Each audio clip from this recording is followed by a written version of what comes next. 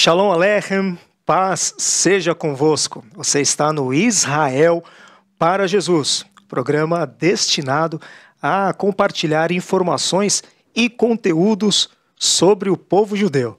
Aqui falaremos sobre os costumes, a tradição, cultura milenar do povo judeu, como também compartilhar os desafios e as bênçãos do trabalho de evangelização. E também encorajar você a se unir a nós nesta tarefa sublime e especial de fazer o nome de Jesus conhecido entre judeus e também não judeus. Afinal de contas, somos a igreja do Senhor Jesus e temos esta responsabilidade de evangelizar e fazer o nome de Jesus aí conhecido por entre as nações. Como sempre digo aqui no nosso programa, um dos objetivos é compartilhar um pouco da cultura, dos costumes, da tradição do povo judeu. E o programa de hoje é, estarei apresentando algumas informações neste sentido. Toda vez que nós nos, ah, nos é, destinamos né, a evangelizar, a fazer missões a um povo, uma etnia, a um grupo específico, a uma nação, a uma tribo, é importante que a gente conheça um pouco dos seus costumes, é, da sua alimentação, a respeito é, da sua música, da sua cultura de uma forma em geral, para você saber em que solo você está pisando e isso serve também para que você possa compartilhar de uma maneira mais eficaz a respeito do Evangelho do Senhor Jesus. E com os judeus, ah, com o povo de Israel, não é diferente. Por isso, então, que nós vamos trazer ao longo aqui dos programas e também hoje ah, um pouco a respeito da cultura e dos costumes dos judeus. Cultura esta que começa desde o período bíblico, ah, passando pelo período do Antigo Testamento, período do Novo Testamento, e que perpetua aí ao longo dos anos e sendo algo que é cultivado pelo povo judeu até os dias de hoje. Então, no programa de hoje, eu vou compartilhar com vocês um pouquinho a respeito das vestimentas do judeu. A maior parte delas que eu trouxe aqui hoje uh, tem origem bíblica, mas também temos uma parte da vestimenta que é muito importante para os judeus, porém tem o seu surgimento né, um pouco mais recente e nós vamos ver tudo isso no programa de hoje. Fique ligado aqui conosco. Primeiro item ou objeto né, que serve também como um símbolo do judaísmo é o talit. O que vem a ser o talit? Talit nada mais é do que este manto ou este chale de oração. Este é um símbolo que faz parte da vestimenta e chega a ser, de uma certa forma, um objeto sagrado para os judeus. Então, o talit é esse chale, este manto, num formato retangular. Ele pode ser feito de seda ou de lã. Ele tem aqui alguns adereços, algumas informações, algumas frases aqui em hebraico, este aqui, por exemplo, né, é, num, numa tonalidade dourada aqui, e também nos cantos deste chale, nós vamos encontrar estas franjas aqui. E nós vamos verificar que esta é a parte mais importante desta vestimenta judaica. Quem que utiliza este utensílio este objeto, este manto? Bom, na maioria das vezes, somente os homens. Tá?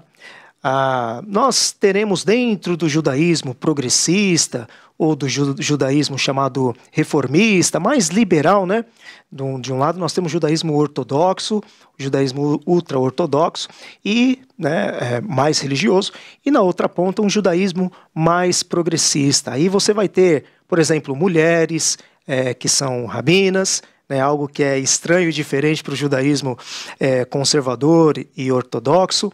E você vai encontrar também dentro do judaísmo progressista, por exemplo, mulheres utilizando estas vestimentas, né? Mas na maioria das vezes, dentre as principais correntes judaicas, a gente vai ter um uso a, é, mais comum sendo feito pelos homens. Ah, em alguns serviços religiosos, geralmente no período da manhã, os judeus estarão utilizando este chale, este manto aqui, né, sobre a sua roupa. Não é uma vestimenta que ele vai utilizar no seu dia a dia, é especificamente para os serviços religiosos na sinagoga. Por exemplo, Deuteronômio capítulo 6, verso 4, que é o versículo mais importante de toda a Bíblia para os judeus, diz, né, ouve Israel, o Senhor vosso Deus é o único Senhor. Este é o trecho da, da Bíblia, do Antigo Testamento, mais importante para os judeus. E quando eles fazem né, a recitação deste versículo bíblico, eles então estão com o talit nos seus ombros, eles encobrem a cabeça para recitar esse verso tão importante. E por que que os judeus utilizam o talit, o, o manto, o chale de oração? E por que que esta parte aqui né, das franjas, que chama-se tzitzit, é a parte mais importante. Porque aqui está um dentre vários mandamentos que Deus deu para o povo de Israel e está registrado na lei. Exatamente, está registrado lá no Pentateuco.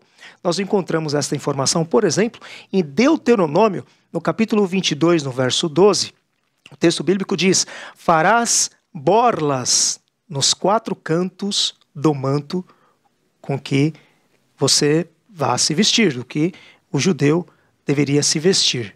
Borlas, em algumas versões orlas, né, ou franjas.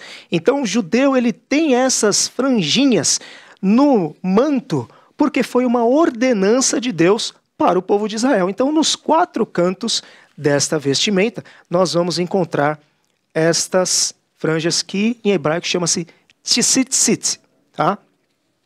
E por que, que Deus ordenou que eles colocassem essas franjas no manto?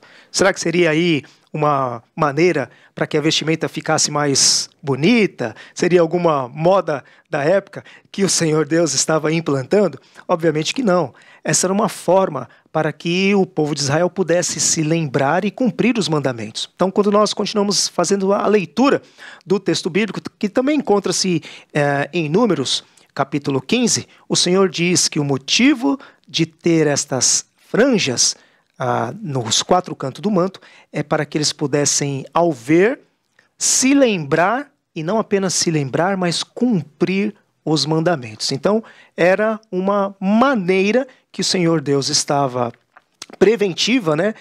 Ah, que o Senhor Deus estava estabelecendo, uma forma para que os judeus pudessem lembrar de todos os mandamentos que eles tinham para cumprir diante do Senhor Deus. Então, é por isso que os judeus utilizam essas franjinhas aqui no manto, porque foi uma ordenança que está lá em Deuteronômio capítulo 22, verso 12.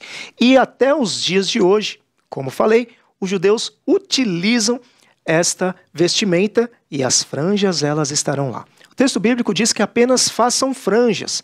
Não diz quantas cordinhas deveria ter em cada franja, né? não diz quantos nozinhos deveria ter aqui. Ó. Tudo isso aqui foi a tradição rabínica que ao longo dos anos foi desenvolvendo. Então tem todo um detalhe para fazer, não é de qualquer forma, né? tem todo um detalhe, a quantidade de nós que tem aqui, as voltinhas e o número aqui de, de tiras que tem em cada franja, também tudo isso aqui é detalhado né, e foi desenvolvido ao longo do tempo pelos judeus. Mas nós não encontramos apenas no Antigo Testamento a presença dessa vestimenta. No Novo Testamento, nós também encontramos a presença do, do talit e também dos tzitzit. Nós vamos encontrar nos evangelhos e sendo utilizado pelo próprio Senhor Jesus. Nós temos uma passagem muito conhecida, muito é, emblemática né, nos evangelhos, retratado em Mateus, Marcos e Lucas, de uma mulher que havia 12 anos que ela padecia de uma hemorragia. O Senhor Jesus estava ali com os seus discípulos. De repente, um chefe da sinagoga chamado Jairo chega até Jesus e diz: Mestre, minha filha morreu. Mas eu sei que se você tocar as mãos sobre ela, impuser as mãos sobre elas, sobre ela, ela voltará a viver. E aí, o Senhor Jesus está indo até a casa de Jairo, né, um chefe da sinagoga, estamos falando de um contexto judaico ali, e durante o caminho, o texto já começa a dizer que uma multidão seguia ali Jesus, os discípulos estavam ali, de repente, nós temos uma mulher que se aproxima de Jesus. E o texto, né, Mateus, Marcos e Lucas, vai trazer detalhes diferentes. Alguns detalhes que nós vemos da mesma história em Mateus, nós não encontraremos em Lucas, mas alguns detalhes em Lucas nós não encontraremos em Mateus. E Marcos também já traz uma outra perspectiva, de maneira com que o relato ele não se contradiz, mas são informações que vão se somando né, para trazer a exatidão do fato. E quando nós lemos os evangelhos, vamos ver que era uma mulher que havia 12 anos, que sofria de uma hemorragia. Né? Ah, os textos irão nos dizer que ela já tinha passado por diversos médicos, já tinha gastado aí todas as suas reservas, o seu dinheiro, e ao invés desta mulher melhorar, né, ela estava piorando cada vez mais. 12 anos. E quando nós vamos para o texto de Levítico, é, capítulo 15, nós vamos ver que quando uma mulher ela estava com uma hemorragia, ela era considerada impura ela era considerada imunda diante das pessoas. Não só as mulheres no seu período menstrual, mas fora do seu período menstrual, se ela apresentasse algum tipo de sangramento, né, fora do, do período normal ali, né, ela, ela, ela era considerada imunda. Assim como os homens também, quando tinham o fluxo seminal, expelido também ele era considerado imundo. Então tinha todo um processo, deveria ir até o sacerdote por os processos de purificação. Então essa mulher ela estava considerada imunda já há 12 anos. Imagine como que deveria ser o convívio dessa mulher com o restante da sociedade. Deveria ficar isolada.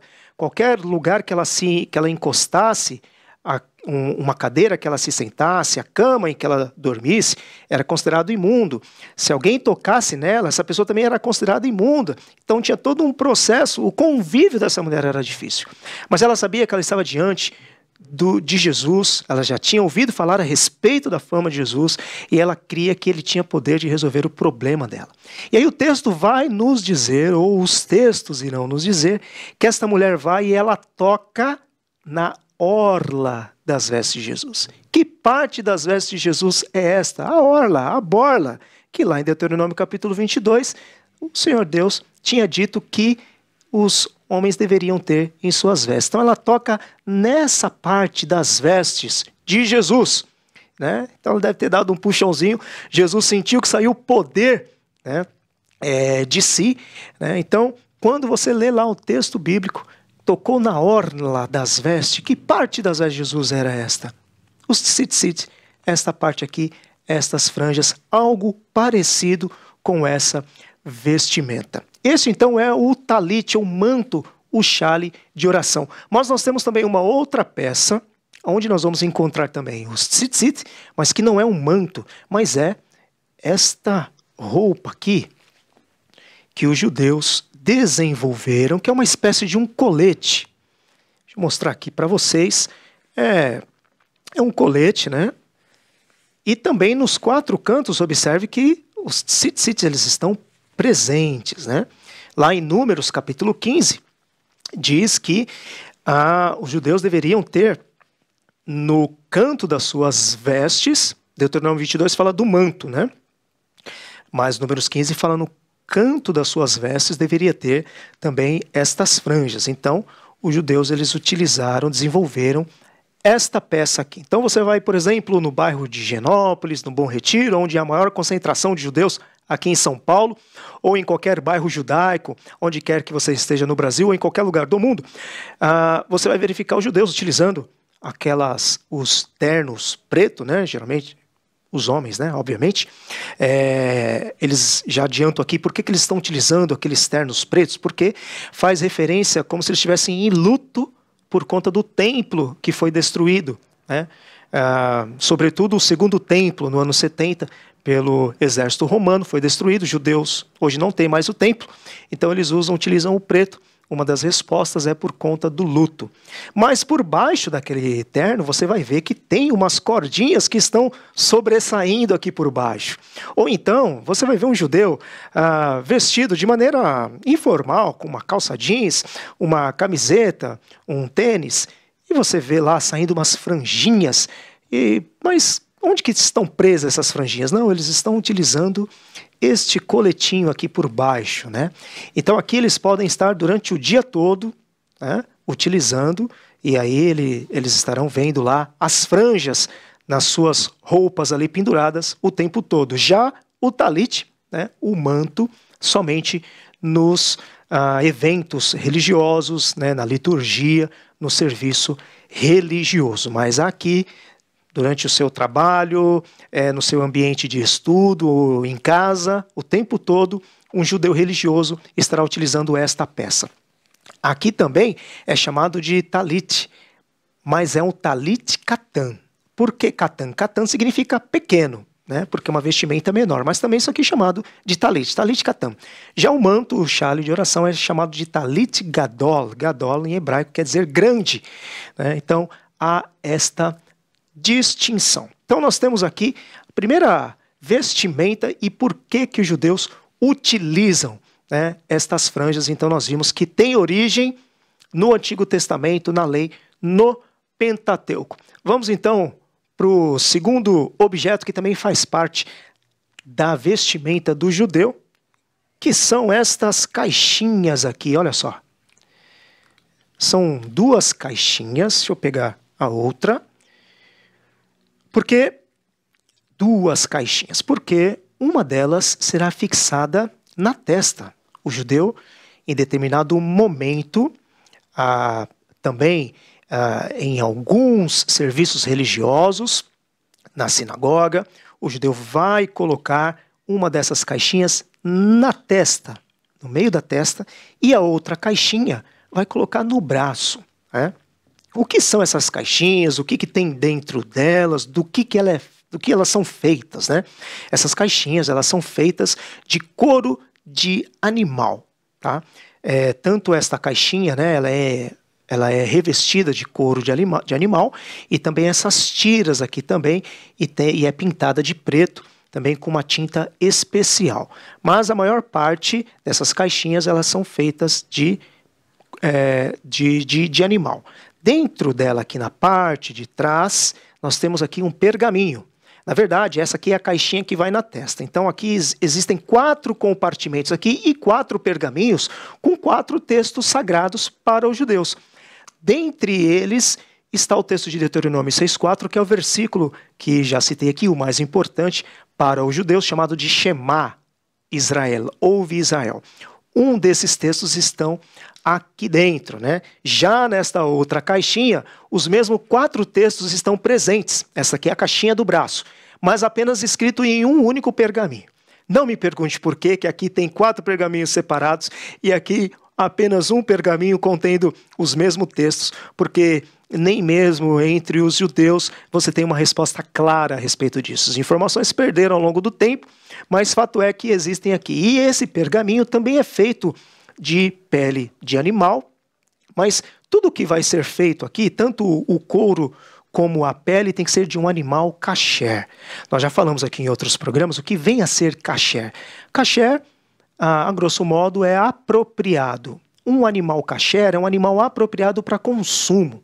Então, por exemplo, pele de um boi pode ser feito? Pode, mas tem que ser de um boi que esteja em condições é, apropriada para sua alimentação. Então não pode ser um animal que foi abatido de maneira errada, né? o abatimento de um, de um animal para sua carne ser consumida, o animal não pode ter sofrimento, tudo isso está dentro da, das leis né, rabínicas judaicas. O animal ele é abatido é, com uma faca extremamente afiada e é cortada a jugular do animal para que não haja sofrimento.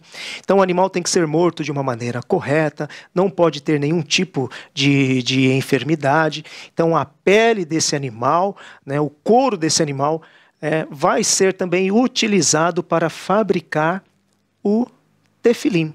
Né? E aqui dentro, então, como disse, existem textos sagrados para os judeus. Também, assim como o talit, geralmente, né, a sua grande parte, é, os homens é que irão utilizar. Né? Como disse, algumas mulheres podem utilizar, mas isso dentro de um judaísmo mais liberal. Né? No ortodoxo, apenas os homens utilizarão e também dentro da sua maioridade religiosa, que é depois que o menino completa seus 13 anos, ele passa pelo bar mitzvah, né? então ele passa a utilizar o tefilim. A palavra tefilim ela vem de uma palavra hebraica, de uma raiz tefilá, que significa oração. Tá? Então, eles deram este, o nome de tefilim. Antes do judeu colocar na testa e no braço, existe uma prece específica que o judeu faz para colocar. Assim como o talit também, eu não mencionei, mas antes dele do judeu colocar né, o talit no seu ombro, o chale, o manto de oração, também existe uma prece específica. E para o tefilim também, tá certo? Por que que os judeus utilizam uma caixinha dessa no, na testa e uma outra caixinha semelhante ah, no seu braço. Porque também ah, este objeto, este símbolo, ele tem origem bíblica. Agora nós voltamos lá para o texto de Deuteronômio capítulo 6, e no versículo 8, primeiro, antes do versículo 8, ah, no início ali né, do capítulo 6 de Deuteronômio, o Senhor está falando né, para os, os pais, para que eles, deve, de, é, eles, eles deveriam amar o Senhor Deus com toda a sua, sua força, com todo o seu coração, com todo o seu entendimento. Nós vemos o Senhor Jesus no Novo Testamento fazendo menção a esse texto, né? Amarás, pois, Senhor teu Deus com todo o seu entendimento, com toda a sua força, com todo o seu coração. E depois que então que os pais é, praticasse isso, eles deveriam inculcar para os seus filhos todos os mandamentos do Senhor. inculcarás assentado em sua casa, ao deitar-se, ao levantar-se, aos seus filhos. E seguindo mais à frente, no versículo 8, o Senhor diz: E estas palavras que hoje te ordeno estarão no frontal entre os seus olhos e na sua mão. O Senhor Deus disse apenas isso. Os judeus, então, para na tentativa de cumprir este mandamento do Senhor, desenvolveu então, desenvolveram os tefilim. Porque Deuteronômio capítulo 6, 8 diz né, que deveria estar no frontal entre os olhos, então eles colocam isso daqui, né, no centro, na testa, e também atarás em suas mãos. E por isso o tefilim vai para outra parte. Então fica um na testa e o outro aqui no braço. Eles dão sete voltas, né, prende aqui no, no braço, ele fica preso aqui no braço e com a, a tira, sete voltas é dado aqui no braço. Quem é destro vai colocar no braço esquerdo, quem é canhoto vai colocar no braço direito. E sete voltas são colocadas, e depois na mão também, três voltas na mão e três voltas no dedo anelar. Aqui na mão, eles colocam essa tira de maneira que fique aqui a, o formato da letra Shin. A letra Shin, no hebraico, é a, é a letra inicial da palavra Shaddai, que nas nossas versões traz como o El Shaddai, Deus Todo-Poderoso, né, traz esta, esta tradução. Então a letra Shin ela é importante. E ela está impressa aqui também, não dá, talvez não dê para ver porque está em relevo aqui, mas temos a letra aqui para você mais ou menos entender que letra é essa, como se fosse o nosso W, mais ou menos, tá? É, e também vou fazer um sinal aqui com a mão. Olha só, era é como se fosse nesse formato aqui, tá? A letra X. E não é à toa que eu estou fazendo esse formato aqui, tá? Porque se você for alguém né, que, que curta bastante o cinema né, e gosta muito de filmes, você está é, talvez aí se lembrando que isso aqui é um sinal feito pelo Spock. Lembra do Spock do Star Trek? Né, Jornada nas Estrelas? Ele fazia este símbolo aqui. Né? E o que, que é este símbolo? Este símbolo foi desenvolvido pelo ator que fazia o papel do Spock. Né? E ele, ele era judeu. E por isso, né, no filme isso não é retratado, mas ele mesmo criou esse símbolo, né, que fica muito característico quando ele se apresentava porque ele mesmo dizia que era o formato da letra Shin, né, do de Shaddai, né? E aí você tem também esse formato aqui na mão quando o judeu vai colocar o tefilim para o seu uso. Então, nós temos aqui também no Novo Testamento a menção desse símbolo aqui. Quando nós vamos para Mateus capítulo 23, o Senhor Jesus está alertando os discípulos para que eles ouvissem e praticassem tudo aquilo que os fariseus é, ordenassem, mas não imitassem as obras. Por quê? Porque os fariseus, a maior parte deles, né, eles falavam, mas não praticavam aquilo que eles pregavam. Então, o Senhor Deus está falando: olha, eles atam fardos pesados sobre os ombros e nem com mesmo com o próprio dedo eles querem removê-lo. Então, o Senhor está falando para eles: olha, cuidado com, com eles, né? Cuidado com eles, porque eles fazem as suas obras com uma motivação de serem vistos pelos homens. E aí, no versículo 5, o Senhor vai dizer que eles alargam os seus filactérios e alongam as suas franjas. Né? com o intuito de serem vistos pelos homens. O que, que é os filactérios que o Senhor Jesus disse que os fariseus utilizavam? Tefilim. Obviamente, né, no grego, no Novo Testamento, escrito em grego, a palavra lá é filacterion, que numa tradução mais literal seria salvaguarda, mas é justamente a respeito disso que o Senhor Jesus estava dizendo. Então nós podemos entender que no Novo Testamento algo mais ou menos num formato mais ou menos assim já estava sendo praticado pelos judeus. Né? Então esses homens utilizavam esses filactérios ou o tefilim para não para na tentativa é, santa de cumprir a lei que o Senhor Deus tinha dado lá em Deuteronômio, mas é porque eles queriam mostrar para os outros, né? Algo assim, olha, tá vendo? Eu uso o, o tefilim, é, é, eu sou alguém que cumpro a lei, né? Mas o Senhor Deus, né? É, é a, na pessoa do Senhor Jesus, reprovando totalmente aquela atitude daqueles homens. Mas quando você lê lá filactério, ah, é este objeto, este símbolo que o Senhor Jesus estava se referindo. Então, nesse texto, quando fala alargam o, as, os seus filactérios e as suas franjas. Franjas lá também está fazendo uma menção ao talit, conforme eu tinha falado aqui dos tzitzit, né? As franjas, né? Para mostrar, olha como nós cumprimos a lei, olha como nós é, somos santos, né? Então, algo totalmente reprovado pelo Senhor.